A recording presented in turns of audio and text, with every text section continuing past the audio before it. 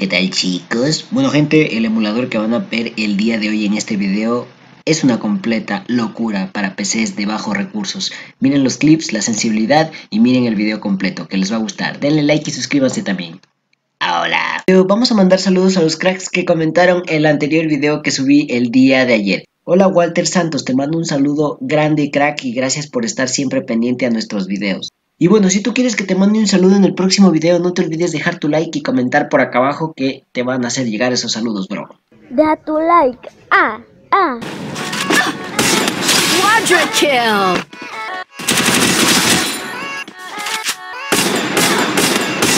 Triple kill. Better not worse. Come on, let's my words and I put them all together.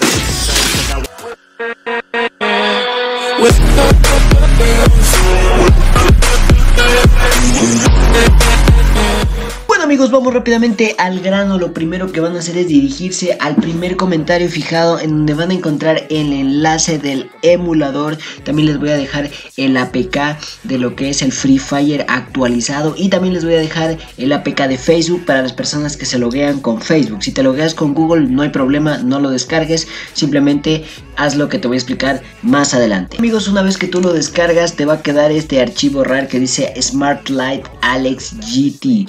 La verdad es que le damos todos los créditos a este crack. Vayan a suscribirse a su canal que va a estar abajo en la descripción. Pues el emulador estuvo bastante, bastante bueno y muy optimizado. Simplemente le dan clic derecho y le ponen en extraer aquí. Si les va a pedir la contraseña, la contraseña es la siguiente es el nombre del crack que modificó esta versión, Alex GT. Le pones así y le das en aceptar. En este caso yo ya no lo voy a extraer porque ya lo tengo aquí. Te va a quedar la carpeta que dice Project Titan. Le das doble clic, abres la de Engine. Una vez que has hecho esto, pues bajas y ejecutas como administrador el launcher. Bien, ya una vez dentro del emulador amigos, lo primero que vas a hacer es darle aquí y vamos a mostrar las configuraciones que tenemos aquí para que nos vaya bien el emulador. En este caso, pues bueno, aquí todo en español, aquí en Android es importante que lo tengas en automático o en 442 ya que estamos utilizando esta versión de, de Android. Aquí en avanzado pues gente siempre eh, jueguen en resolución personalizada. En este caso estoy jugando en 600 x 500 una, una resolución bastante buena eh, para esas PCs obviamente que tienen pocos recursos. El DPI 240 en este caso le asigno dos núcleos tengo de RAM 1 GB y el renderizador DirectX eso por aquí en las configuraciones. Ahora bien una vez que ustedes lo descargan no les va a venir instalado ni el Free Fire ni el Facebook simplemente les va a venir para que te lo veas con cuentas de Google y las configuraciones nada más. Para instalarlo es súper sencillo. Lo único que vas a hacer es tomar el archivo eh, APK que te voy a dejar ahí. Lo tomas así y lo sueltas hasta el emulador para que se instale súper rápido y súper sencillo amigos. Esto es súper rápido. Eh, se les va a instalar en 10 minutos máximo ya va a estar instalado. Y hacemos lo mismo con el APK de Facebook. Lo toman así y lo sueltan acá al emulador.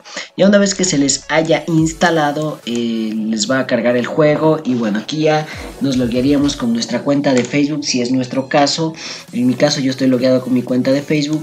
O bueno si tú tienes cuenta de Google simplemente te vas aquí a settings te vas acá abajo a donde dice add account y aquí pones en Google y añades tu cuenta existente, email y contraseña y listo crack.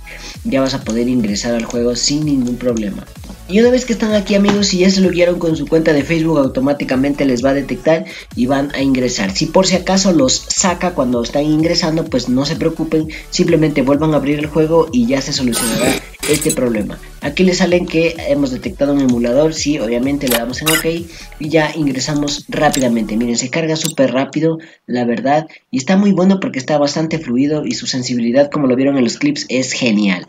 Bien, gente, aquí rápidamente les voy a mostrar la sensibilidad que yo utilizo desde 100, 100, 100, 65, 50 y 50 aquí en pantalla o en display. Yo siempre juego con los gráficos en suave y con los FPS altos, porque si juego con gráficos en estándar o en ultra, obviamente me va a ir un poco más lagueado y no voy a tener una buena experiencia al momento de jugar.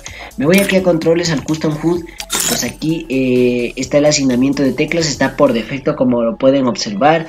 Recuerden que en Smart Gaga es importantísimo suspender. Si tú no sabes qué suspender, pues es simplemente esconder y hacer aparecer el cursor. Miren, esto es suspender. Hacer aparecer la flechita y esconderla. ¿Por qué hacemos esto? Obviamente para que la sensibilidad se mantenga estable, no existan bugs, que es lo que muchas de las veces se presentan en emuladores, y obviamente más que todo para que los tiros no se te queden en el pecho, simplemente vayan directo hacia arriba.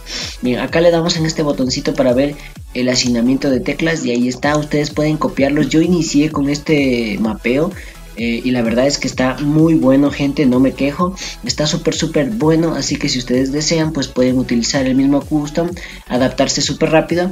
Y aquí nos vamos aquí justamente al control de vista, le damos clic derecho y acá están las propiedades básicas y avanzadas del emulador. En este caso pues les recomiendo ponerlas así tal y como yo las tengo, false, false, false, bajamos aquí false, true, el UK 192 y el UK 2 es el botón con el cual suspendes. En la descripción te voy a dejar un video si tú no sabes qué es suspender para que aprendas obviamente y pues lo mejor de todo es que eh, te explico a detalle. No lo hago en este video porque se alargaría demasiado. En Doom Loop false, eh, false, false y bueno aquí false, false. Y la sensibilidad del emulador en Y es de 2.3 y en X de 1.5. Le damos en guardar, le damos en guardar, volvemos atrás y salimos de aquí gente. Y eso sería todo amigos en esta versión de este emulador. No les recomiendo descargar el paquete de ropa también si están jugando en una PC gama baja porque esto ocupa mucho más recursos. Así que pues pueden jugar así nomás tranquilamente con su ropita de bot. Pero bueno, eh, que la verdad igual les va a ir súper bien. Dejen su comentario y suscríbanse. También quiero mandar saludos a los suscriptores que comentaron el video anterior. Yo los veo en un próximo video, cracks. Chao, chao.